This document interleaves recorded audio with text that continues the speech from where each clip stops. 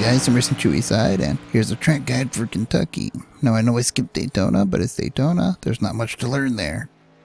So here we are at Kentucky, the old bumpy version. Not the fancy new repay, so yeah, we're still bumpy. Which makes it one of the more unique one and a half milers. Flat, abrasive, bumpy, and so on. And since I got bugged, you know, like crazy, here's the keys of the race card. You'll see something new that's pit road speed. It's going to be 50 miles an hour, or yeah, I have no clue what that is in kilometers.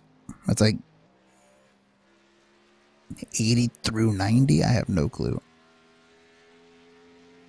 But that's not going to be technically a point. That's going to be at every track. So number one, tires as usual, because it's an abrasive track. Number two, hell, I don't even know what number two would be. It's a bumpy track. Multi-groove racing, I guess. Hell, I don't know. Number three is probably going to be something to do with like pit entries, a little bit, I would say tight getting in. But it's also not, you know, difficult, but it's a little deceiving. You kind of think you can go further and then it kind of just comes up on you. But anyways, that's, that's it. We'll show the pit exit line right after this and then we'll go ahead and get to the lap.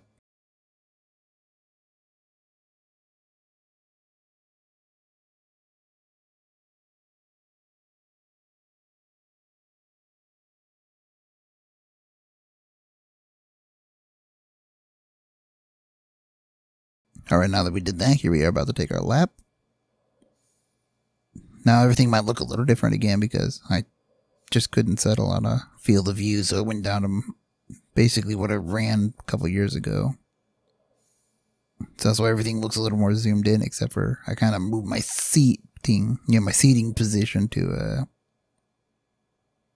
yeah, further back in the thing, but it also still keeping the field of view. So there you go. That's why it looks weird.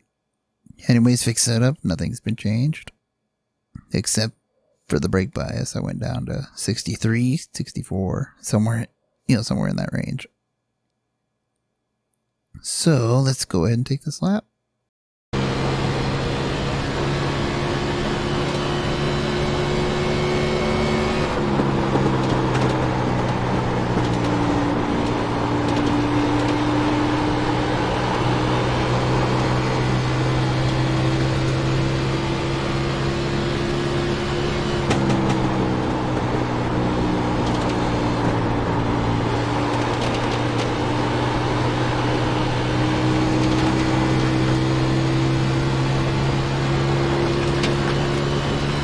All right, the apron there is optional if you want to get that speed. So let's back that up.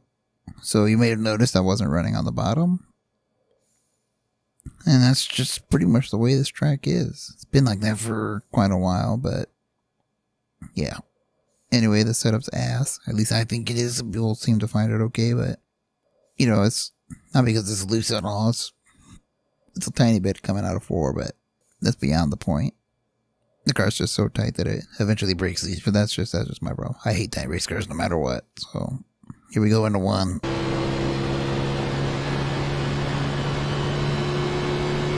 Now you can see I went all the way down to the line there, then back up, trying to get you know set up for the entry. And and if you notice this entry is a little like I backed it up a little bit because you really don't want to throw this car in there. It doesn't like it.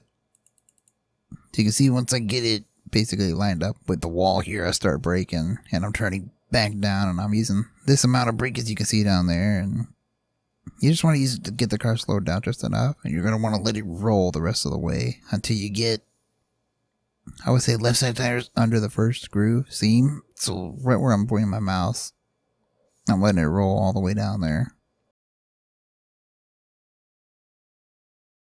You see I'm still trying to turn now now here you can probably get away with riding along the seam, but I just found uh, going down here was slightly better for me. It's just because it's kind of using both transitions, and you can see once I got down here, I'm on the gas, and if you can see, I'm not sure if YouTube will allow will allow for this, but if you can see it, there's a little line right here.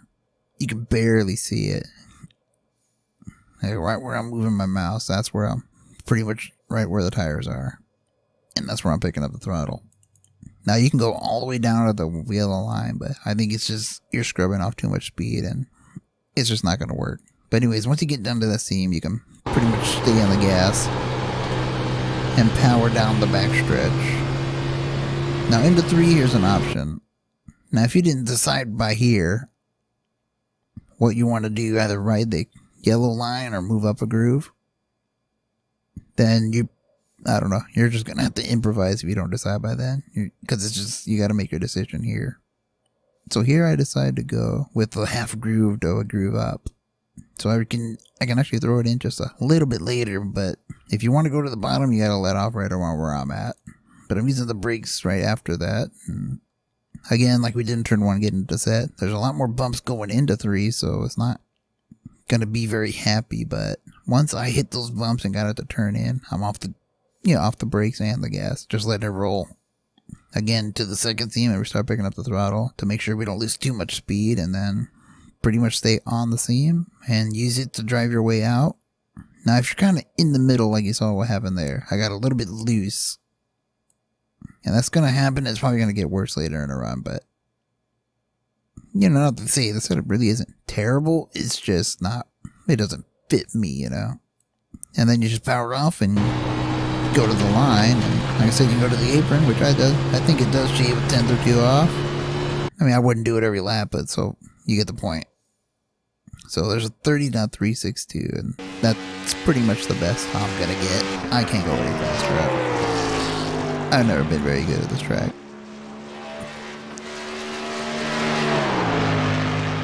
Now, I don't know what track we go to next, but hopefully we'll do that and we'll have the keys to the race car and all that again. So, yeah. Anyways, Sim Racing Chewyside.